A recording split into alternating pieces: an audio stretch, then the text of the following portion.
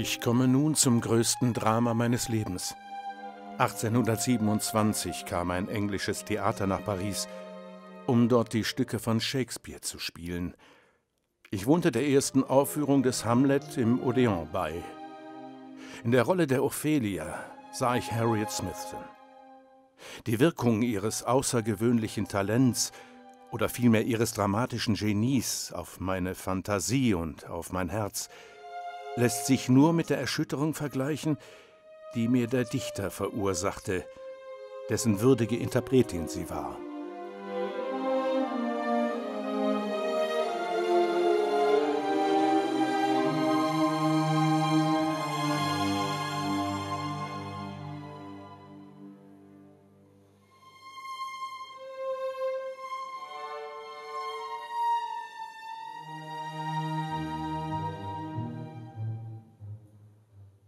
Crois que d'abord, il faut euh, placer la symphonie dans son contexte. Als erstes muss man die Sinfonie in ihrem Kontext verstehen. La France avant la Révolution. Frankreich hat vor der Revolution 1300 Jahre Monarchie erlebt. Alleinherrschaft. Es gab also nur die Macht der Könige und die Macht der Kirche. Euh, und alle Komponisten schrieben Soli Deo Gloria, zu Ehren Gottes, der Könige oder der Herrscher. Und dann kam die französische Revolution und hat alles zerstört. Später folgte Napoleon in all seiner Größe und am Ende all seinem Unheil. Eine ganze Generation von Franzosen, geboren in den Trümmern der Revolution, findet sich wieder ohne Vergangenheit und ohne erkennbare Zukunft. Sans passé et sans futur.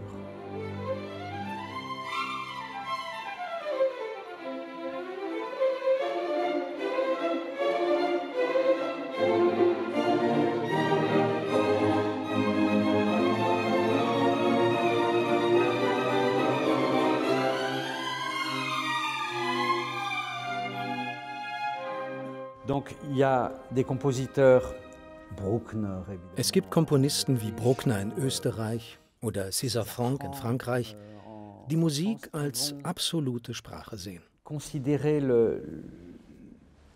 La langue musicale comme une langue à part entière. Et à l'opposé, und auf der anderen Seite ein Beethoven, der in seiner neunten Sinfonie Text und Solisten und einen Chor verwendet hat.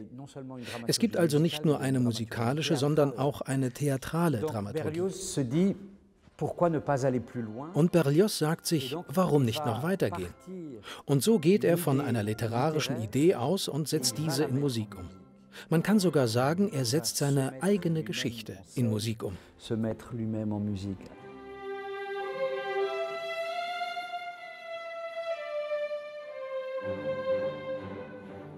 Alors Berlioz a inventé, on peut dire à 28 ans, ce, cette idée fixe. Berlioz hat mit 28 Jahren das Thema der Idee fixe erfunden. Ausgehend von seiner Geschichte, also der unerreichbaren und idealisierten Geliebten, die sich im letzten Satz im Hexensabbat offensichtlich in eine Hexe verwandelt, wird diese Idee fixe das ganze Werk durchschreiten. Idée fixe va traverser toute l'œuvre. La plupart des instruments de l'orchestre.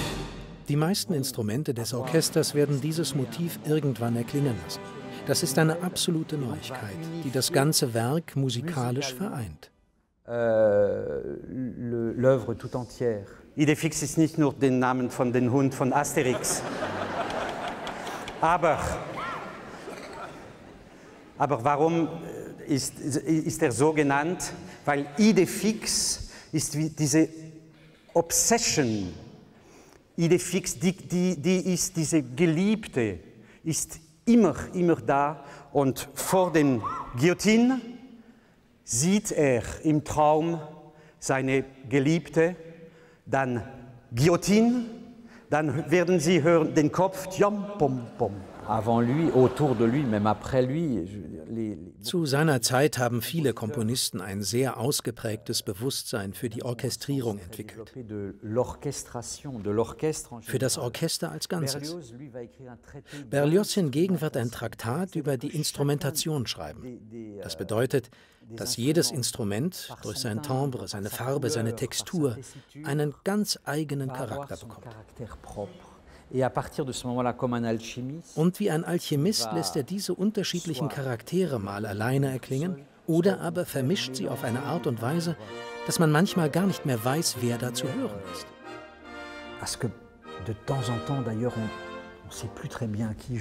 Fehlt ein Puls, also Tuba und Pauken. Und dann noch eine, eine andere Farbe, also das Obsessiv Kontrabässe.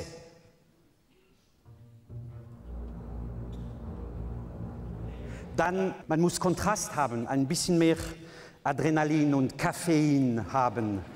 Also die Triolen, Bratschen und Celli.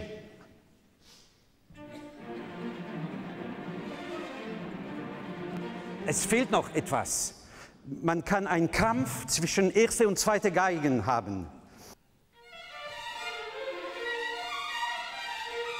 Die spielen fünf Noten, fünf Noten, fünf Noten wie Boxing. C'est un langage harmonique er benutzt eine außergewöhnliche harmonische Sprache. Für die Musikprofessoren seiner Zeit und selbst für heutige Verhältnisse gab und gibt es Dinge, die absolut verboten sind. Oktavparallelen, doppelter Leitung. Aber Berlioz stürzt sich in das Unerlaubte. Jetzt werden wir Tutti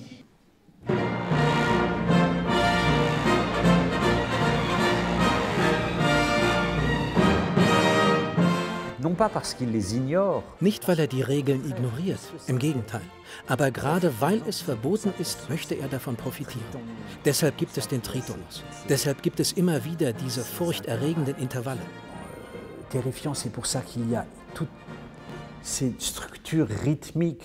Deshalb gibt es diese rhythmische Struktur im Sechsachteltakt. Er muss das in einen Dreivierteltakt aufspringen. Pour qu'on soit perdu. Damit man verloren ist. Verloren wie der Komponist, der Held, verloren in dieser überschäumenden Liebe. Ich weiß nicht, ob es Liebe ist. Es ist eher eine Fantasie. Wir wissen von seiner Begierde für die junge Schauspielerin im realen Leben. Und schließlich haben sie sogar einige Jahre später geheiratet. Aber die Ehe war unglücklich und konnte dieser Vision nicht entsprechen.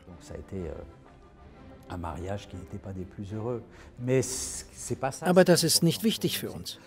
Für uns zählt diese Projektion des idealen Wesens, des geliebten Wesens, des zerstörten Wesens.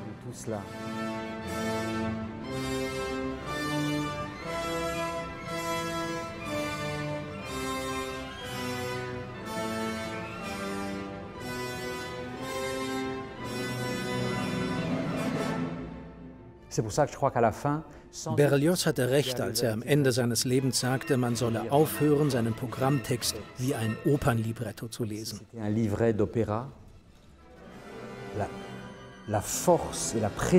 Die Kraft und die Präzision der Musik muss ausreichen, um in jedem seine eigene Geschichte entstehen zu lassen. En relation avec la musique. La place exacte der missglückte Selbstmord, verwandelt in Halluzinationen durch eine Überdosis an Drogen, taucht an verschiedenen Stellen auf.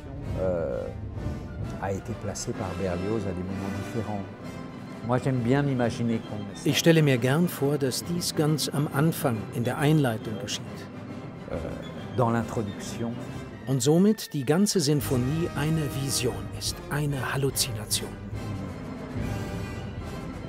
vision, une hallucination, tout.